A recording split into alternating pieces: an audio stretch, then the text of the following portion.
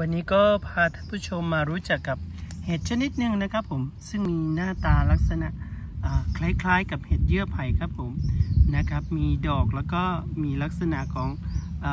ล่างแหคลุมลงมาทางด้านล่างนะครับพี่น้องนี่เราจะเห็นมดกินเเยื่อของเขานะครับผมซึ่งกำลังเน่าเปื่อยนะครับผมกำลังเน่าเปื่อยอยู่นะครับ มดก็อ่ากำลัง กัดนะครับผมแล้วก็เอาไปกินนะครับผมสันนิษฐานว่าน่าจะไม่มีพิษนะครับท่านผู้ชม น่าจะไม่มีพิษ เดี๋ยวมองมองมุมด้านบนนะครับ พี่น้องมีการลักษณะโคนและไม่ใช่ก็เอิ้นไวหยังกระพี่น้อง หัว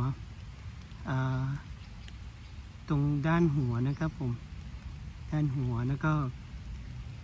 ตรงดอกนะครับผม แล้วก็น่าจะเป็นแบบว่า รงก้านตรงก้านนี่ก็มีเยื่อเป็นลักษณะคล้ายๆกับยางแหนะครับผมร่างแหปกคลุมลงมาทางด้านล่างนะครับผมแอดก็ไม่ไม่รู้จักเห็ดชนิดนี้นะครับผมบรรพบุรุษก็ไม่เคยาพาเก็บมารับประทานนะครับพี่น้อง ถ้าใครรู้จัก ถ้าใครมีประสบการณ์ ถ้าใคร เคยเห็นแล้วก็เคยรับประทานก็แนะนำแอดมินแล้วก็แชร์ความรู้กับเพื่อนๆนะครับก็ให้ความรู้กันได้นะครับ ผมว่าเห็ดชนิดนี้ว่าเขาชื่อว่าเห็ดอะไร แล้วก็รับประทานได้ไหมนะครับพี่น้อง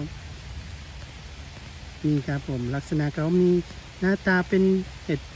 ที่มีดอกลักษณะดอกที่แปลกแล้วก็มีร่างแห่สีทองสวยงามครับผมดอก ด้านบนนะครับผมเป็นสีออกอดำน้ำตาลนะครับผมนะครับออกดอกอยู่ชูช่ออยู่ริมทางนะครับผมแอดเห็นก็อืมแบบว่าานึกว่าเห็ดเยื่อไผ่นะครับ ผมก็เออสนน่าน่าสนใจดีนะครับ ผมก็เลยนำมาฝากท่านผู้ชมนะครับ ผมสำหรับคลิปนี้ก็ต้องลาท่านผู้ชมไปแล้วนะครับ ผมฝนตก มาทางด้านหลังแล้วนะครับ ผมเสียงตกลินมาแล้วนะครับ ผม